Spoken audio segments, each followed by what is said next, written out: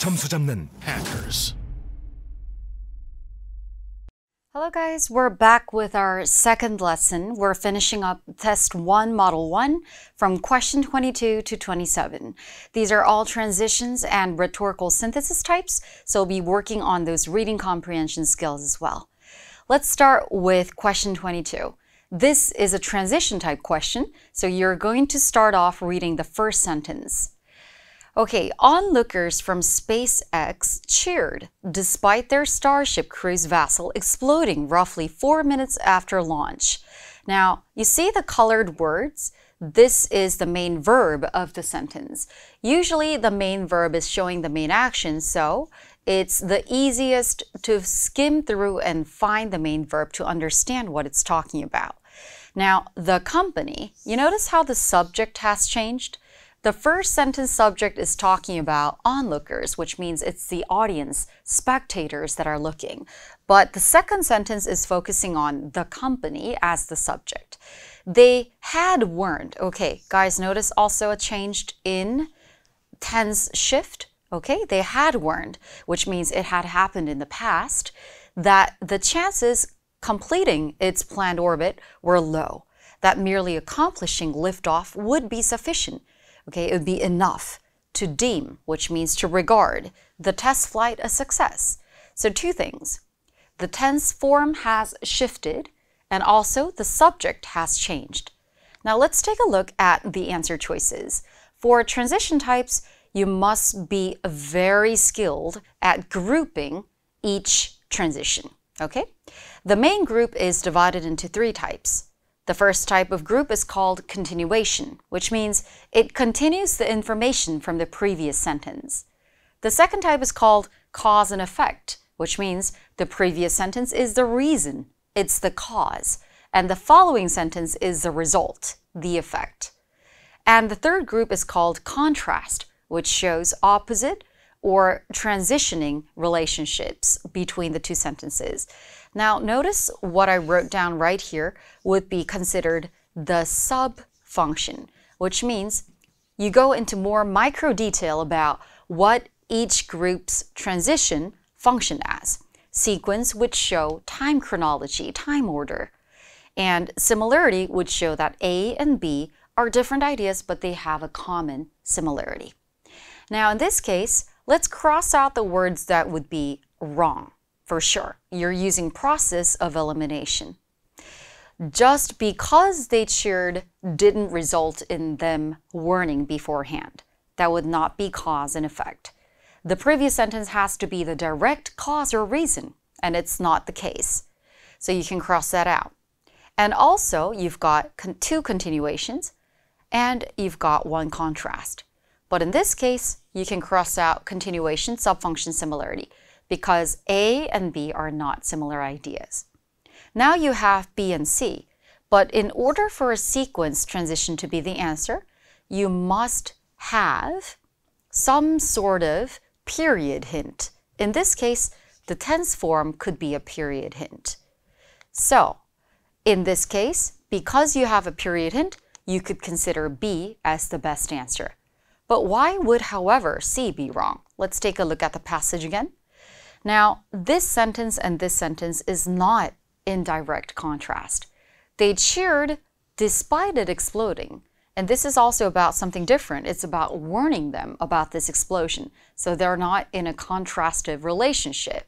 So the best answer is B. You can also cross out contrast as well. And for question 23, Theodore Roosevelt's continued career in politics resulted in an eventual run for vice president. When his running mate, William McKinley, was elected president, okay, um, Roosevelt became vice president. It also talks about McKinley again in the following sentence. He was assassinated. So, first of all, he was elected, but the second part is talking about a different action. He was killed, assassinated, and upon McKinley's death, Roosevelt became the president of the United States. Okay, so two different actions, you think about that, and continue to grouping. Furthermore would be continuation group. It provides additional information, adding on to the previous sentence. Consequently shows cause and effect. specifically shows continuation but providing more detail, and however shows contrast. So in this case, also cross out what's wrong. Because he was elected the president doesn't make him the result of an assassination. So you can cross that out. And furthermore, would have to provide more information about the election itself. But in this case, the action has changed. So continuation of providing emphasis or detail would be wrong. So the best answer in this case would be he was elected, but he was killed, which means the end of his election. Two different actions. However, can also be used to show transition. So in this case, it would be close to the function of transitioning two different contents. Now the next question 24 is also transition type. Biologists at the university have discovered a vast number of previously unknown viruses hiding in the DNA of single-celled organism. Up to 10% in some species is made up of viruses that do not harm their host, but instead act as a sort of an immune system. All right, so it got a pretty positive connotation. And it also brings a positive connotation right after, protecting the organism from harmful virus. Okay, both are positive. Now this is where they're asking you the transition. The viruses and their hosting eukaryotes exist in a state of symbiosis. Do you guys know what this means? Sym means together. So biosis means they live together in terms of a mutual relationship. Ensuring, okay, ensuring one another's survival. Again, positive connotation. These are all connected. Okay, let's take a look at the answer choices. Obviously, it's not going to be contrast because they all have the same positive connotation that connects the content. But then you see cause and effect. You also see continuation. Now, these two forms are very confusing. So I'm going to give you guys one tip for that.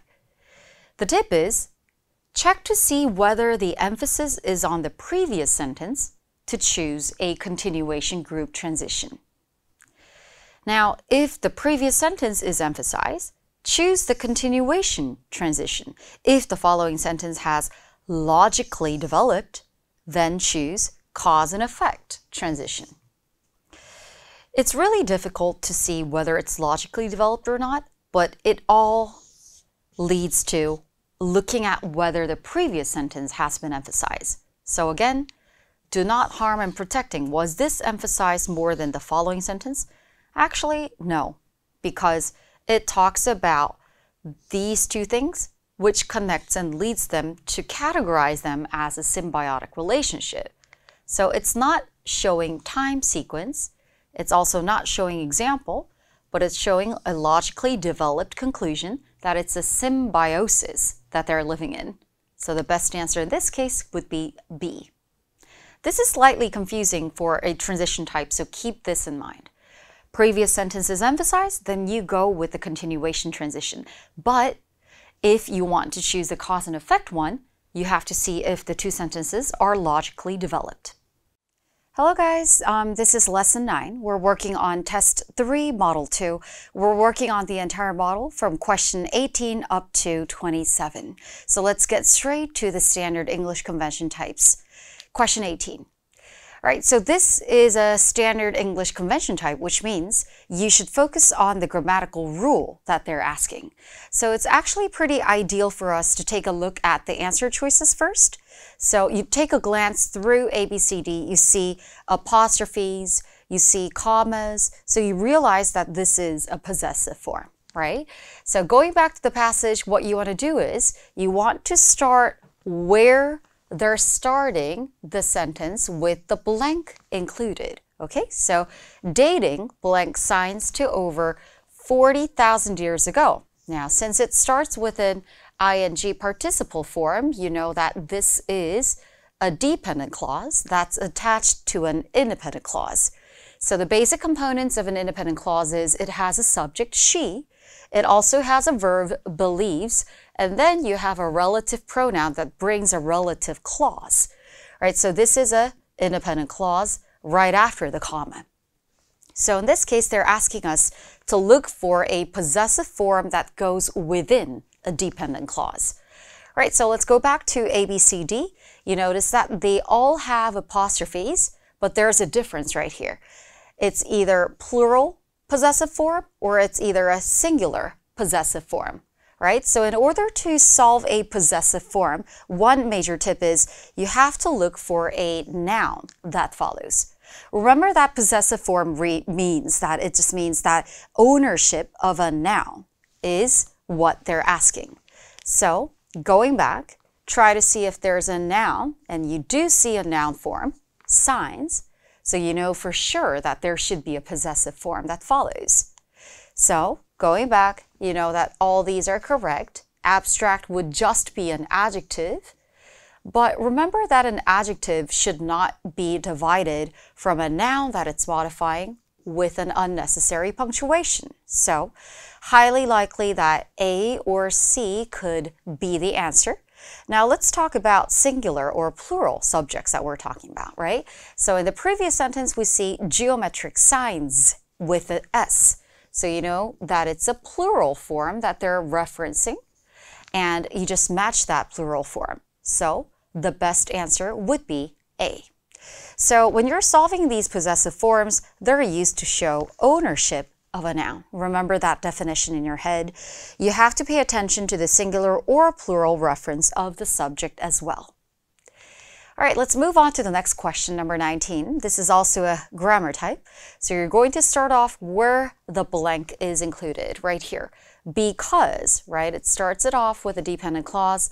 The debris orbits at 17,500 miles per hour. Even objects the size of a grain of salt can tear through a spacesuit. And now we notice that you've got one verb form, but you also have a coordinating conjunction that connects maybe another verb form. And of course, something that comes before that verb would be the subject. Okay. So verb 1 and verb 2 should be matching, but they should also be parallel. That's the basic rule of an English sentence. It has to be parallel right? So let's go and look at the answer choices. You see A, B, C, and D. Now, this shows us that it's asking us different verb forms. Practice until you can tell the main predicate verb apart from the verbal form. Now, these verbal forms include participles, gerunds, both probably having verb ing, and in the case of participle verb ed, or you also have the infinitive form, which is to plus verb form. So these verbals are actually not functioning like verbs. They look like verbs, but they're not. So you have to differentiate them. Note that the participle form is shown as verb ing, verb ed, or verb d. So you have to figure out that the participle is functioning as an adjective, and not as a verb. All right, so a would be an infinitive form, verbal, with a to plus verb, and B would be the main predicate verb, also in the present tense. And C, have killed, would be present perfect, okay? But that's also the main predicate verb. And finally, D has the verb ing. Usually in the answer choices, if it has the verb ing, they're participle forms, so verbals as well. So to sum it up, A and D are verbals, not functioning as verbs. B and C are main predicate verbs. So going back to the passage, you know that you need a main predicate verb form, but it should also be parallel, so you want a present tense main predicate verb. So go back, look for it, and you see an answer choice that pops up. The best answer would be B. Let's go on to the next question, number 20. Water molecules in a supercooled state. Although it has a prepositional phrase, this prepositional phrase is connected to the subject. So water molecules would be simply the subject of the sentence. And then you see a comma that opens up. Now, when you see a comma, comma in between the subject and the verb, it's usually in the case of a non-essential clause. In other words, it's just bonus or extra information that's providing some detail about the previous referenced subject. So, you have retain as the main predicate verb. Retain means to keep, right? To maintain, to keep. So, subject and verb, which means it has the basic components of an independent clause, until a sudden movement blank. And then starting from here to the last part of the sentence, you see at which point, right? Or arrange themselves into a crystal structure. And then you've got the comma which again. So when you see which, or even the prepositional forms, you know that these are not pointing to a main relative clause, but it's talking about a DC, right? So you know for sure that it's a dependent clause. Now, in that case, you know that the latter part is not an IC. So, in order to make this a perfect, complete sentence, you do need to match the tenses. Now, they retain their liquid form until a sudden movement blank them, which means you need a tense form that matches the previous parts. So this is a verb form tense question. You have to maintain the tense established earlier in the passage. And if you cannot find the hint in the given sentence, you always look through the previous sentences and try to figure out what the hints are.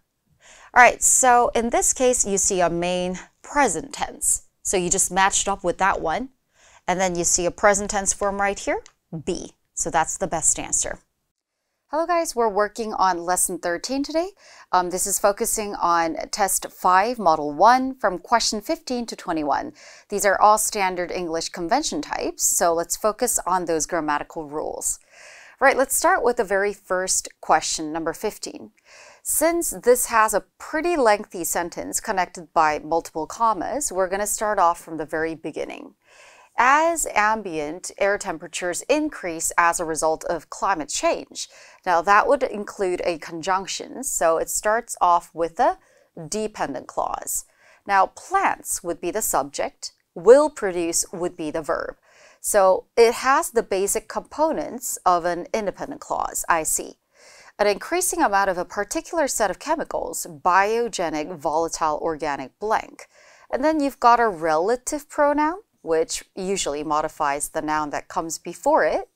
And you've also got comma participle and participle as well. Okay, so these are multiple dependent clauses attached to an IC. So considering the fact that it's already an IC and it has a relative pronoun, then we're looking for that noun that it's trying to modify. Let's take a look at answer choice A, B, C, and D. Right, so this is obviously a punctuation type because it has parentheses, it has a comma, right? It has double commas. So when you're solving these punctuation types, you have to divide the boundary first, the independent clause, the dependent clause part of the sentence, and you also differentiate the punctuation for the non-essential clauses.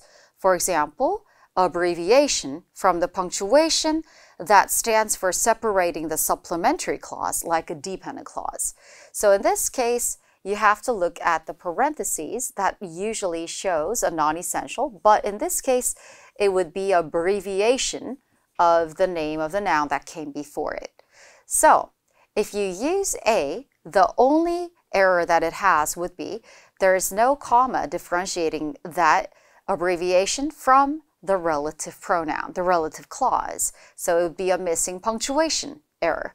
And for B, it has a comma right before the parentheses that shows the abbreviation, but do you need double uh, punctuations right here? No, actually, it's the noun that's being modified and it's the abbreviation that stands for the noun. So you do not need a unnecessary comma right there. And for D, it also has another comma, which makes it two not essential pairings, and that would also be wrong punctuation.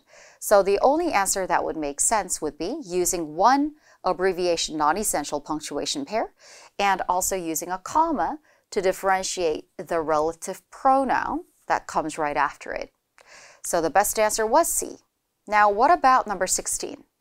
In this case, this is also grammar type, so let's start with the very beginning of the sentence. U.S. President, which would be the title, Dwight Eisenhower, a, a possessive form, Atoms for Peace program, so that program would be the subject, played, and then you've got the verb, which means it's basically the independent clause, a complete sentence. An important role in establishing precedents for the Treaty on the Non-Proliferation of Nuclear Weapons.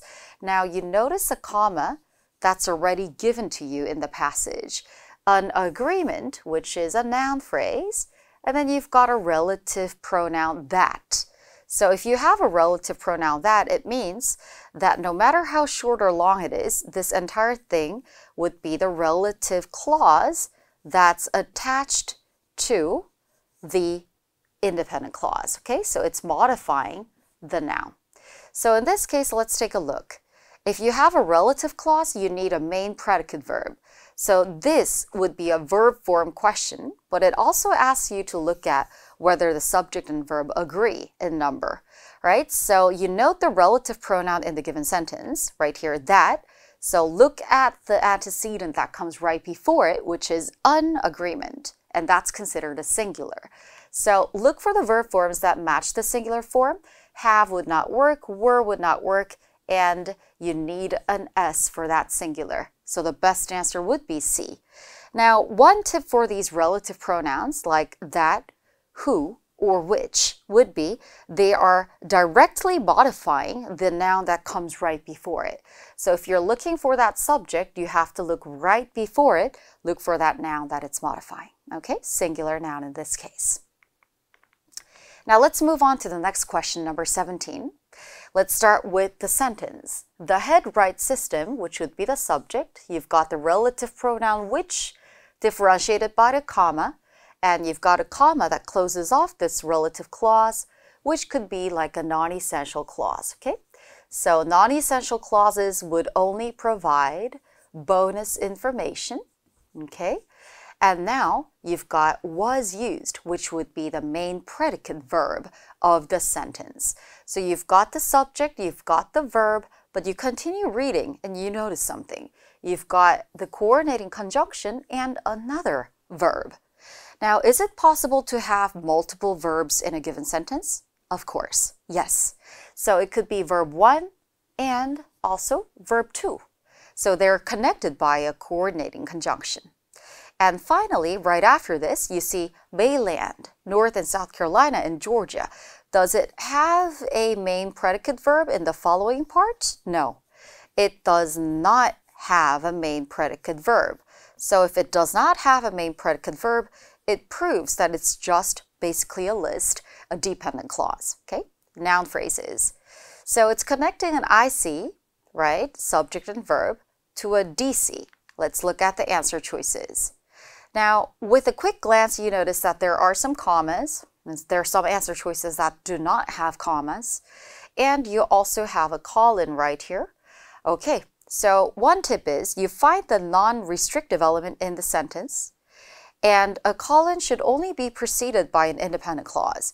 So if you use the word including, it would leave the latter part a DC, but it would also make the, the left side not an independent clause. It would be an incomplete sentence that's hanging open. You need to include what? It's including A, B, and C. So there's no need to use a colon here to just cut off the sentence unnecessarily. Right? So that would be wrong punctuation usage.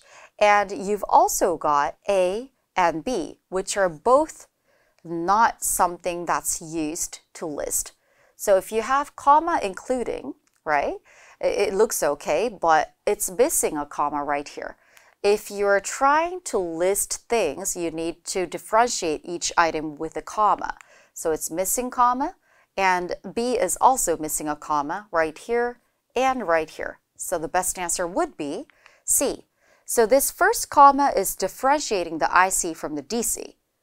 The latter comma would be differentiating the items of the list. So the answer was C. 토익은 해커스. 어, 영어도 해커스. 어, 고득점 메이커스. 어, 만점을 받아 버렸어. 어, 토익은 해커스. 어, 영어도 해커스